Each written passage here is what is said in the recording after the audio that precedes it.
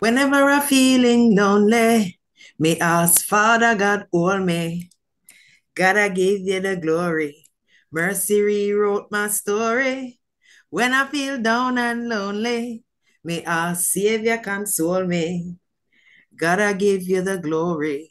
Mercy rewrote my story. Hello, hello, hello, hello, everyone. Welcome back to the Unusual Grace channel. It is always a pleasure to see you. And for those of you who are stopping by for the first time, please consider subscribing and hitting that notification bell so that you will be notified whenever there is some new content. I have an important topic for us today. Stay tuned.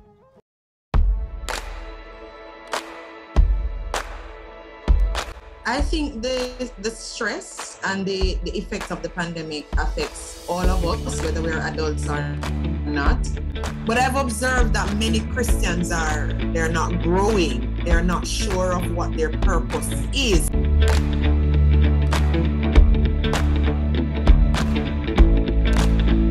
But for those of you, I know I'm going to be heavily criticized for this, but I must represent the voice of the church.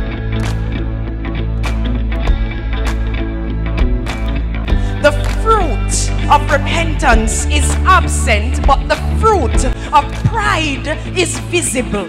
These days, we seem to have embraced a culture, even within the church, that when we are wrong, even if admitted, there is no sorrow.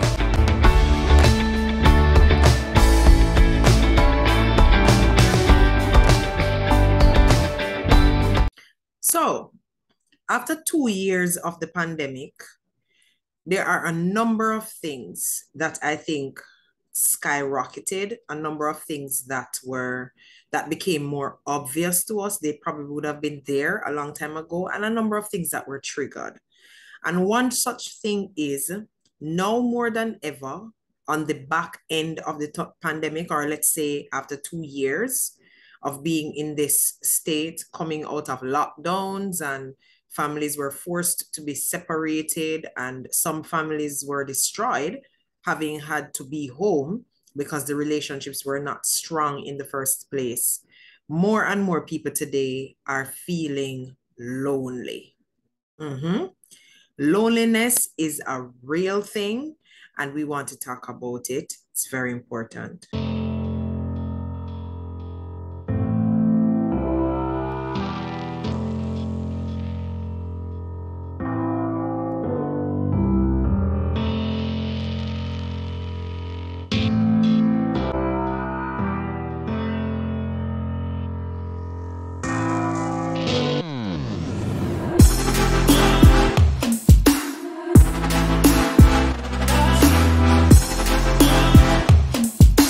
So you might ask the question, what is the cause of loneliness? And there are different causes. I think that, you know, it is important for us to recognize that loneliness is a season in our lives and different people will go through that season at different times depending on what's going on presently in their personal lives.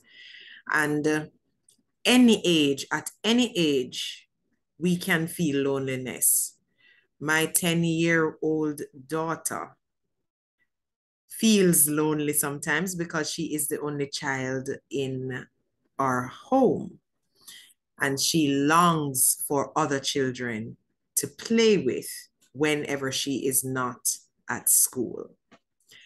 And then there are teenagers who are feeling lonely. There are young adults who feel lonely in their 20s, 30s, 40s, 50s, 60s, and feeling lonely. It doesn't matter. Loneliness is no stranger to human beings. And I think it is an indication of the fact that we were really created for community and created for relationship.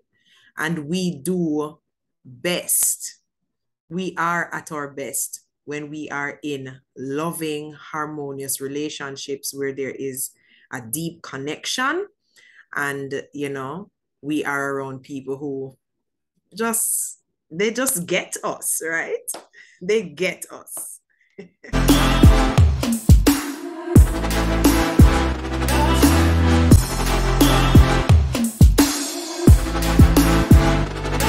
I am sure we could come up with a long list, but here goes. Loneliness can be caused, well, people can feel lonely because they have no friends. Unfortunately, we live in a day and age where it is very challenging to find people who you can trust. And uh, some people have decided to deal with that fact by just not getting close to anyone. They don't get close to people. They don't allow people to get close to them. And so they have absolutely no friends. And many times, people who have no friends, have no friends, are not uh, in good relationship with the members of their family. That's not always the case because there are some people who they they are very close with their family members, their relatives, and their relatives really are their friends and because they have that strong connection and bond within the family unit they don't care for for friendships like that. So but there are some people who they're not from strong family units and they have no friends. So they are very they are they are very inclined to feeling lonely. So there is that situation, no friends. Secondly, people can feel lonely because they are longing for a relationship, longing for intimacy. There are some people who are single, and uh, this can be at any age. And there is a longing for relationship. That's what the desire is. That's what the the meditation is on. It consumes the mind, and therefore there is a sense of loneliness because of that longing for connecting with someone in that way. Someone of the opposite sex longing for relationship. And in some cases more than just a connection like hooking up or a relationship in some cases longing for marriage. Sometimes people feel lonely because they feel that they have no one to talk with no one to connect with, no one who understands just what they are going through, and they feel like they can't trust anyone to tell them really what's going on and the deep matters of the heart. That being vulnerable and open and honest, they feel like they have no one to, to, to share that with. And because they, they fear, it could be a fear of being judged for feeling the way that they do. It could be a fear of just feelings of betrayal if this person were to share it with other people and then how that would look back on that person and all of that. So there's that issue. And this is connected to some of what I would have said before. And I think finally, people end up feeling lonely because they harbor unforgiveness. Unforgiveness. Yeah there are some people who really they don't they have no mercy when it comes on to other people. And sometimes people make genuine mistake you know sometimes we really have to give people grace. You know it's not a situation where they're trying to deliberately hurt you or anything like that. But there are some people for them you slip you slide and you slide right out of their lives and they just take pleasure. It is their inclination to not talk to you, to keep malice and so on over the simplest of things. They're not into repairing any relationship. And so they keep doing that. That's a pattern in their lives. And then they end up not having anyone who they can talk with, trust anybody who they can call friends because they spent a lifetime or many years pushing people away over simple things that they could have talked out, apologize, forgive, and move on.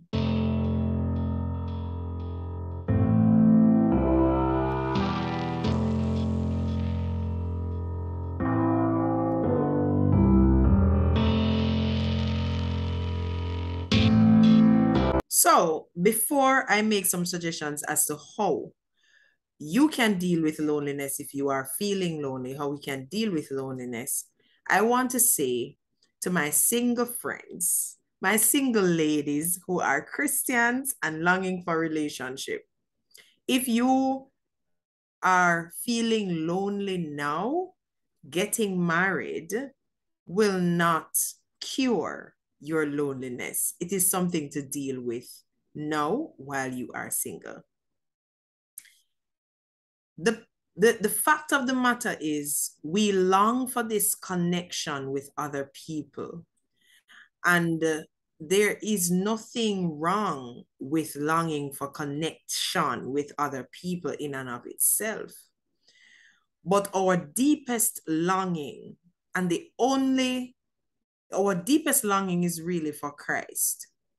And He is the only one who can satisfy the deep longings of our soul.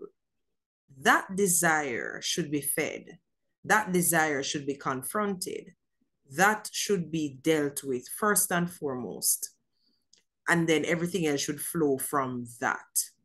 Because people will disappoint you, people will come and go, people will do things to surprise you.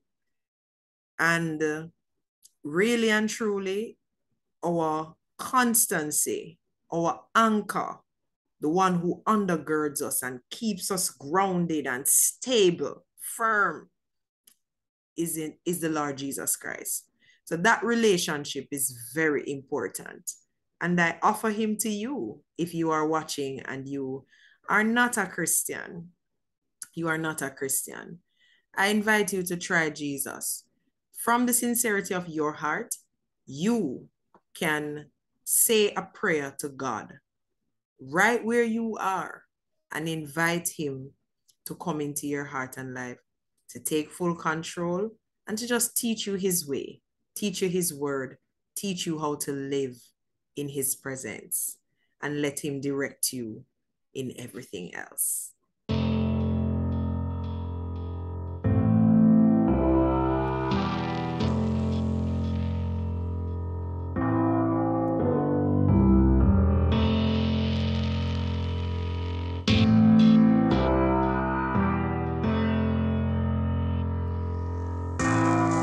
So here are some suggestions. How do we deal with loneliness now? Exercise. You can do some dancing, get some music going, and make that a part of your routine. When you dance, when you exercise, you actually feel relieved and you know it's it's kind of entertaining yourself while staying healthy. It's good movement is good for you and it's good to so you can think about that in dealing with loneliness. Number two, if you are always at home, you work from home, you wake up and you are just home, you need to get outside. Take a walk, go out, go to some places, take a long drive and just look at the scene. Go to the beach and walk along the water's edge. Go to a river, splash around in it enjoy a nice cuisine at a restaurant, just go out with a friend or friends, enjoy the conversation, enjoy the outdoors. If it's in the night, go somewhere where you can actually see the stars in the sky. Just get out of the house sometimes and confront that loneliness. Number three, on the heels of getting out of the house, you can go see a movie if that's your thing, if you're okay with that. Or you can see a play. In Jamaica, we have these local plays that are designed to make you laugh. That's normally, you know, going to the theater to see a play is normally a nice way of getting out good entertainment, nice and clean and, and so on. So you can actually do that. You could do a movie night with family, with friends, you know, watch a movie together and then talk about it. You know, talk about what you liked about it and, you know, talk about some of the interesting parts. If that's your thing, do that. Then, where am I now? Number five, I have lost count. So, so the next thing that you can do to deal with your loneliness is to play games. You can play board games. There is uh, an online community that can facilitate you playing games with people from all over the world or playing. I think it's better playing with people online than playing with the computer, but you can play games or you can, you know, invite a friend over to play one of your favorite board games, learn to play a new game, maybe a card game or something, but you can play play games. And if it's not a board game, you can play other games, you know, but just get some play in there, something that will make you laugh and enjoy yourself and so on. And that too can be helpful. Another thing that uh, maybe some people haven't thought about is to strengthen the relationships that are around you. Strengthen the relationships. Maybe there are some family members that you really could reach out to and get to know a little bit more about them, talk with them, and so on. And maybe the same for some friends. But nothing is wrong with reaching out to people sometimes. You can actually, you know, just just call to say, hey, what's up? Just checking in, what's going on and and reach out a couple of times and maybe that person will reach out back to you as well but you know sometimes there sometimes people sit down and say oh i have no one to talk to nobody ever calls me and all of that. And i'm not saying that you are now to become overbearing you know calling someone every day and they're not showing any signs of wanting to call you back or anything like that because you have to be wise.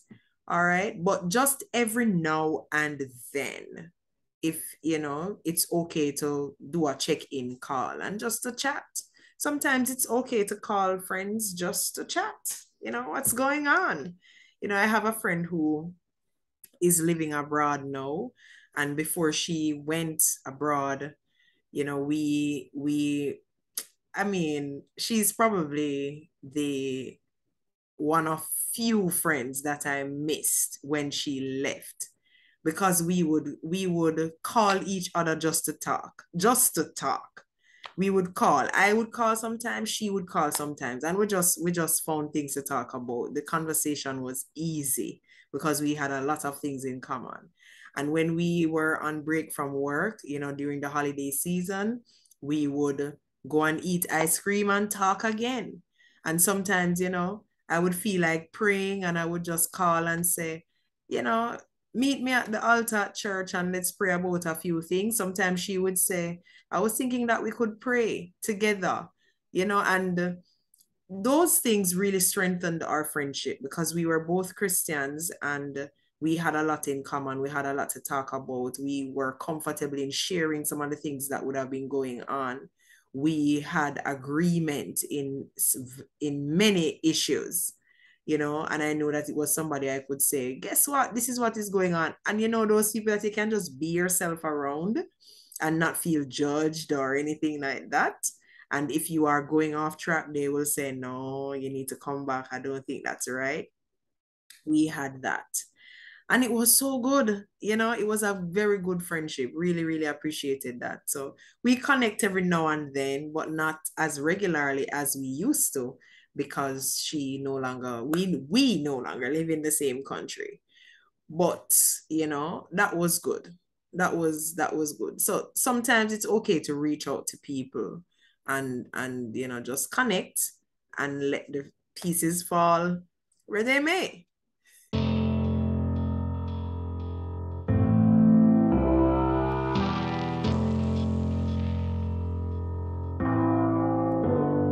So as we are going down the list, the next thing I want to suggest that you can do to ease the loneliness is to volunteer.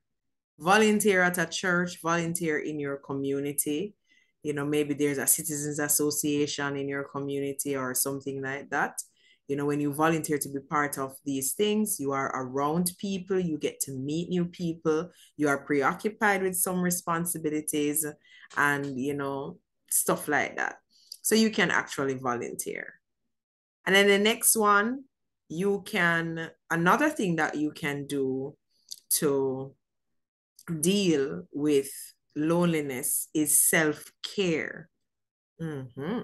Take care of yourself. Go and do your nails. Get your nails done at some point. Get your hair done. Look good. Feel good. right? Uh, there's nothing wrong with that. Just take care of yourself. Take care of yourself. Practice self care, whatever that is. And it's not just the external either. Practicing self care means that you have to take care of your mind, what you listen to, what you concentrate on, what you consistently think about. You have to take care of your mind, take care of your physical health, how you eat, and all of that. You know, practice self care. It's very important. And get this I know that everyone who knows me personally and hear me say this, they're gonna be like, mm-hmm, mm-hmm. I hope you are taking your own advice. But get this in practicing self-care, get enough sleep. yeah, I'm a late night person, but yeah, get enough sleep. When you get some rest, it's it's actually very helpful to you. All right. So get enough sleep, get enough rest, relax sometimes. Yeah.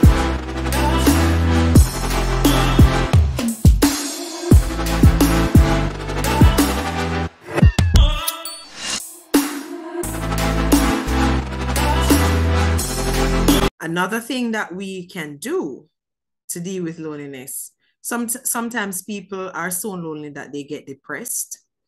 And uh, depression is one of those mental health challenges that many people go through. Some people have clinical depression and you know some people are depressed because a relationship didn't work out after many many years.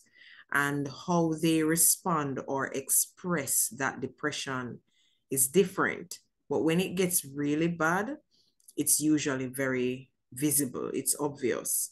So I want to I want to say to anyone who you might be depressed, you might have feelings of loneliness quite frequently. Maybe, just maybe, you could consider seeing a professional counselor, someone who you can talk with about maybe things that you think are on your mind and or you can see a counselor or see a pastor.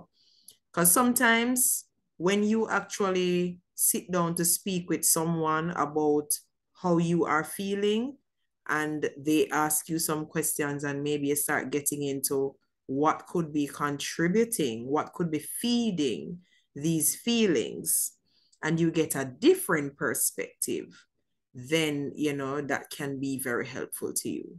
So there is it, you're not crazy. Mm-mm, you're not crazy.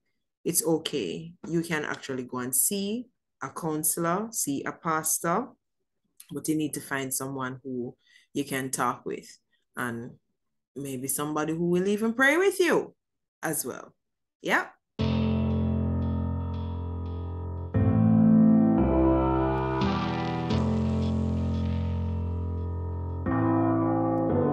No, the thing about loneliness and maybe even depression is that both these things are associated with feelings of sadness as well.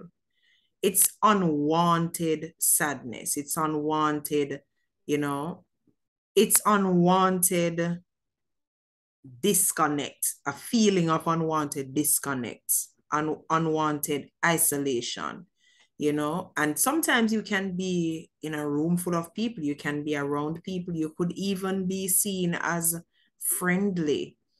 People know you and you are outgoing and outspoken but you still have feelings of loneliness. And therefore you know it is something that you know it's it's real. But what i realize is when i think about some of the reasons why people might feel lonely it really also goes back to the mind and what you think about the most. So for the the, the, the woman who, the single woman or man who is longing for a relationship, if that's the only thing you are thinking about and doing nothing about it, let me put that out there. if that's the only thing you are thinking about, you will continue to feel lonely if if there's nothing happening in that department. All right? So sometimes it's important for us to really think about what we think about the most you know? What what what what consumes your mind the most? Because if we keep some things on our mind I keep it there it doesn't go anywhere we think about it night and day it will further sink us into those feelings of loneliness sadness extreme sadness which leads to depression.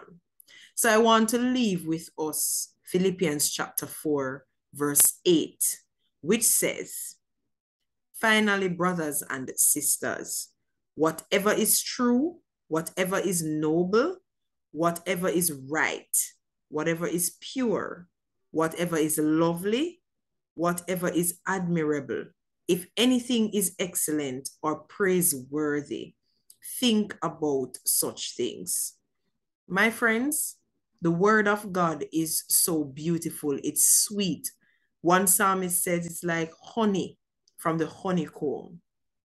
That's the word get so much word in your system that that's what you are meditating on while you pray about the things that you are concerned about. You can pray about them and leave them with God and allow Him to direct your life while you live on purpose, for purpose, and live the abundant life in Jesus Christ.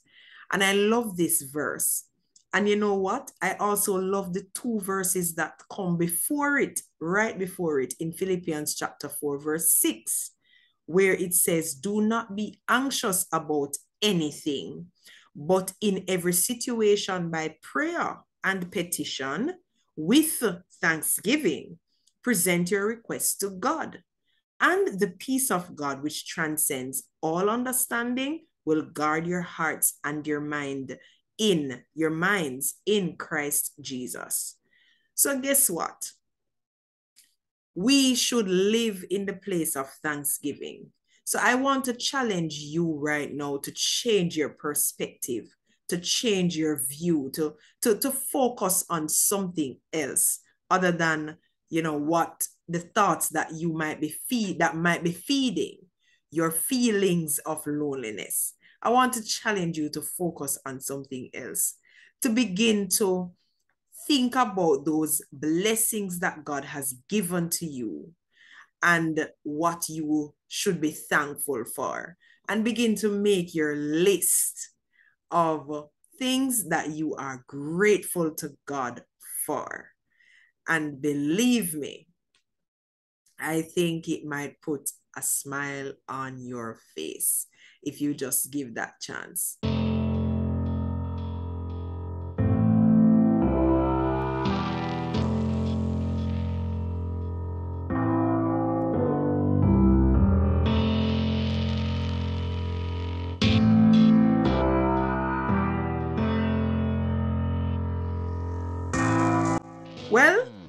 What do you think?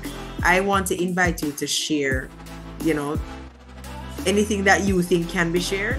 Share what you're thankful for in the comment section.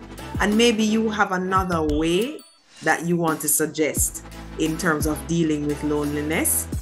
Well i invite you to share that as well so that in our community we can help each other get out of this loneliness loneliness feeling so what do you think what do you do to deal with loneliness don't go away yet. I have another word, a final word for you.